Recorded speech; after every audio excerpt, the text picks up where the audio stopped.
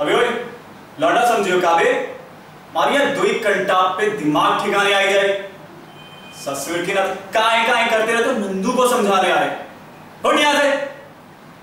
अरे, डॉक्टर साहब, मैडम जी, आइए आइए। कहा मैडम जी, कल आपके पिताजी आए थे पांडे जी हमारे पास। काहे परेशान कर रही हो उनका? हाँ? अरे बताओ क्या ज़रूरत है इस सब शादी की? पिछली बार भी ससुरा तुम्हारा यही तमाशा था और इस बार भी। अरे कुछ तो रहम करो पिताजी पे। डॉक्टर साहब, मैं तो बोलता हूँ, आप जरा ठंडे दिमाग से सोचो।